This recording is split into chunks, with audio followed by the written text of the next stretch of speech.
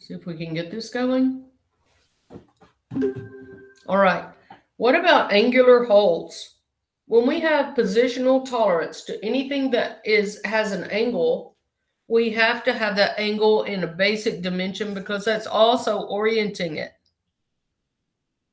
So I think this is really interesting that the center axis of this is the datum, right? Because that's on a feature of size. So the center axis is what this needs to be dimensioned to. Where this pin crosses this center axis is this far from this datum. How hard would that be? That would be hard to inspect in my eyes. But maybe you have a you have a fixture that's a pin and it has a hole in it at absolutely 30 degrees that sits on this plane and it stops right here. So this pin would stop right here at this axis. So notice how we don't, we aren't actually dimensioning where the opening of the hole is. We're dimensioning where it intersects this axis. So in certain cases, the function of a part may require that the pattern of holes that are not parallel or perpendicular to, to datums be located and oriented relative to a datum reference frame. So here are the conditions. What are our virtual condition pins? They're 5.6. It's 6 minus 0.4. It always gets smaller. When a pin has to go in a hole, it has to get smaller to get in there with the worst case scenario. The virtual conditions are at a basic 30 degrees to datum B. The virtual conditions are located at their true position, and the surface of each hole may not violate its virtual condition. It locates the location, it uh, limits the location, orientation, and spacing of these four holes. So you see we have a 4x on this. Wonder why we don't have a 4x on this. I think we should on this basic dimension right here because all four holes have to hit that. Um, sir, let me see. The maximum bonus is 0.2. So it's the difference in the height, the MMC and the LMC is our bonus. Datum feature shift is not allowed. It's because datum A and datum B, datum A is the only one that's a feature of size. So that's the only one that could be MMC and a fixed gauge. But it does not have an M, a maximum material boundary modifier here. We don't have that there. So we can't have any datum feature shift. It also does not allow us to make a fixed gauge for datum A. We have to measure this every time to find its axis. Um, rule number one applies to each hole, and each hole must be within its size limits no matter what. So, what is the what is the overall tolerance? What is the let's see, the virtual condition acceptance boundary is this. So the hole could be at any of these sizes, and the tolerance allowed let's say at six, we get 0.4 tolerance, right? And at 6.5, we get, I mean, at 6.1, we add the 0.1 to it. That could be 6.5 and 6.6. So the total tolerance here is 0.2 right here in our bonus plus our positional tolerance. So it's 0.6.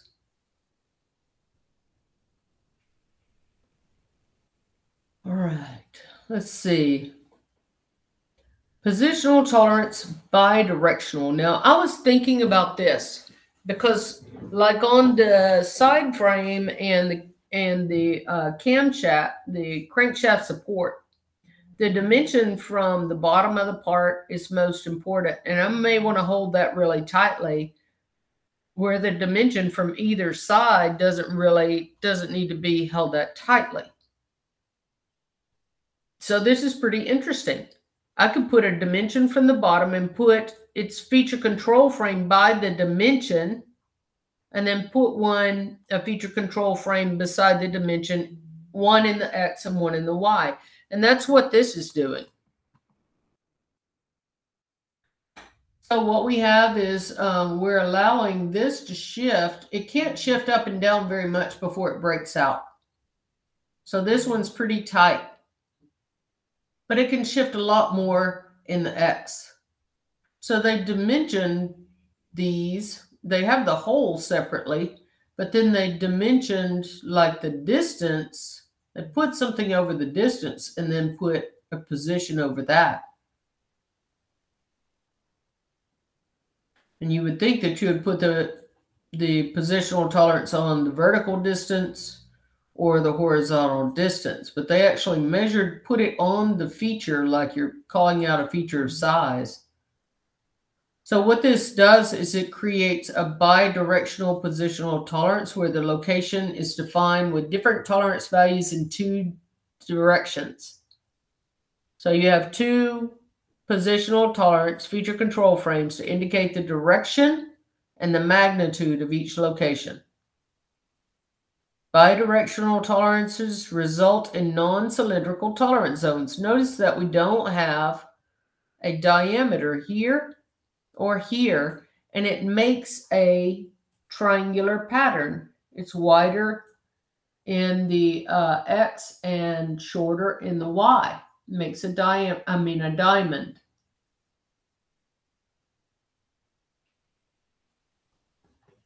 for the virtual acceptance boundary. So what would it be in the Y? Well, we have to get to our smallest hole for our pin, minus 0.2, so that'd be 15.4 in the in the Y. And then we get to the smallest pin, 15.6 minus 0.6, so it'd be 15 in the X. So a smaller pin, a smaller virtual acceptance pin allows more freedom of movement.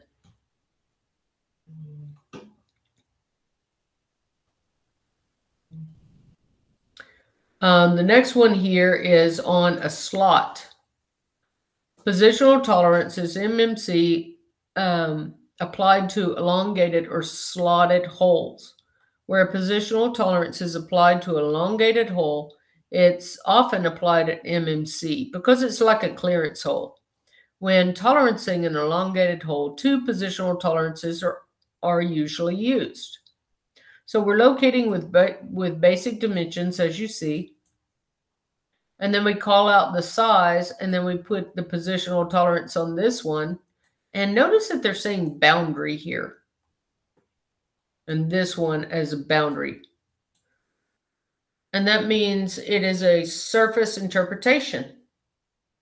We can actually use a boundary. A boundary is a key word used when positional tolerance to denote uh, with positional with positional tolerance to denote that only the boundary interpretation, meaning the surface interpretation, exists for this. There is no axis interpretation. Well, we've got the MMC modifier so that we know that that's a boundary interpretation anyway, right? Because we can make a virtual pin and our slots must fit over that boundary or that surface. So pins are used to simulate the virtual condition acceptance boundary. So what would it be here? It'd be 4 in the Y and 10 minus 1, 9.9 in the x. No, 10 minus 1. So 9 in the x. And your radii stays the same. So this is going to be a full radius, a full R. Not, yeah, see, they don't even say what size that is. Elongated holes must be within their size limits and not violate their surface or boundary, the boundary of this acceptance pin. Positional tolerance, MMC, used in a symmetrical relationship. Okay, here it is, guys. This is what we've been seeing all this time, and they haven't talked about it until now. So when you have a feature of size datum or any datum that's in the middle, let's say this feature of size is the datum, and that means the center plane interpretation is used here. So we're trying to locate this around a center plane. And it's supposed to be symmetric. So notice that we don't have a dimension coming from the center over to one side like we normally do in XY tolerances just to locate one side. And then you have your overall dimension for the other side. So we don't go from the center over to one and then from one to the other. This uh, implies symmetry about this midplane. And we don't have to say anything about that. When you have a datum that's right in the middle of something and it's symmetric both sides to that, you don't have to give another dimension here. You just say that it is um, equally disposed around each side of datum A. That makes any sense. Notice that we don't have a diametric tolerance zone here. We can make a fixed gauge, and that would be 12 wide. And then we can have datum shift because A is a feature of size. So if that this actually came in, if we had a fixed gauge at 18.2, like this, and then we had another little piece that stuck out for a virtual condition. And then we, this part was actually made at 18.6. This, this part could shift around in over this fixed gauge. Does that make any sense? So when you have a feature of size datum, you can have datum shift if it has the maximum, mater maximum material condition modifier.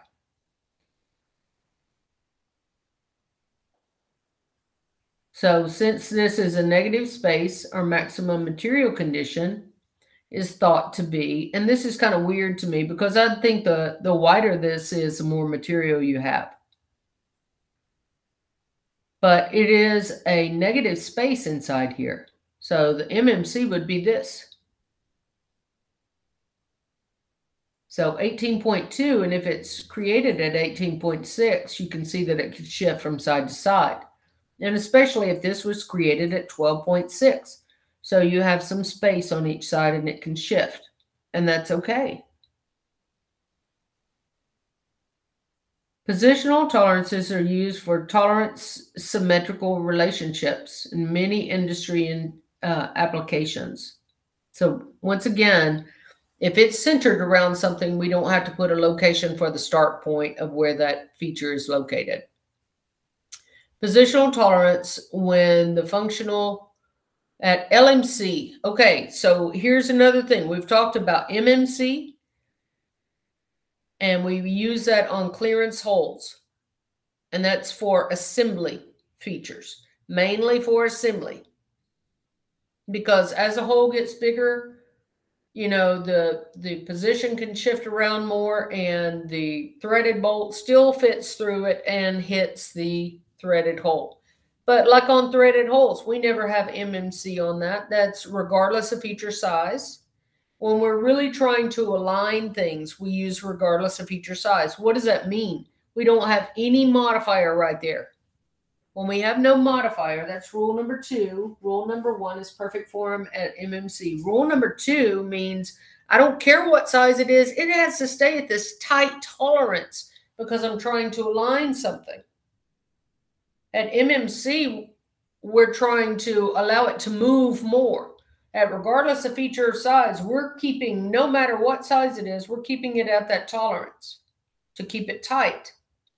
That's the most expensive one. Now, LMC is what we use when we are concerned with the minimal distance on a part.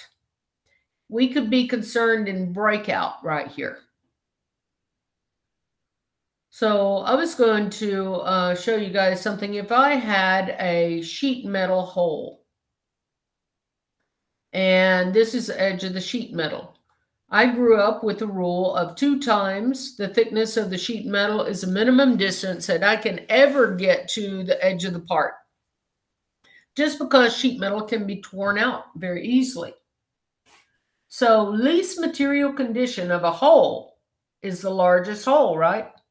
So let's make this hole this big.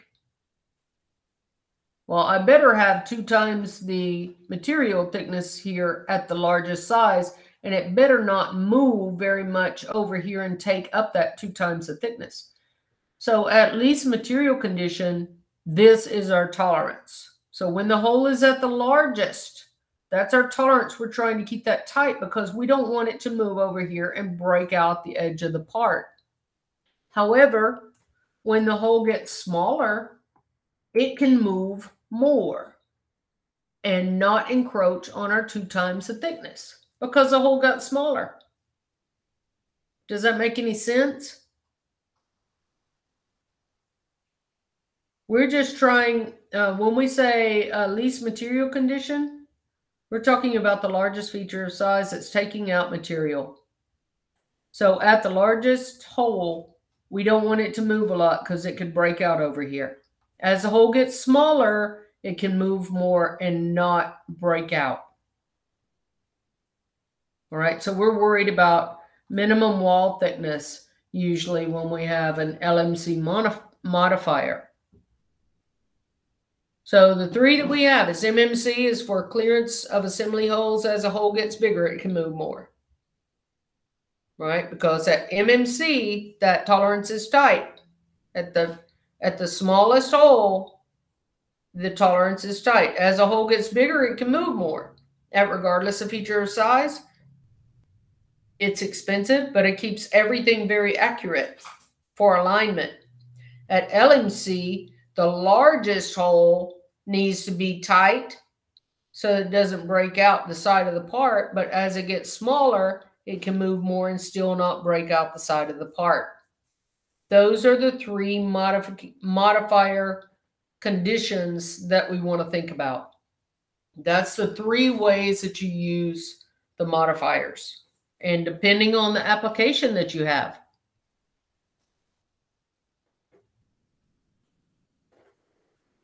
Let's see.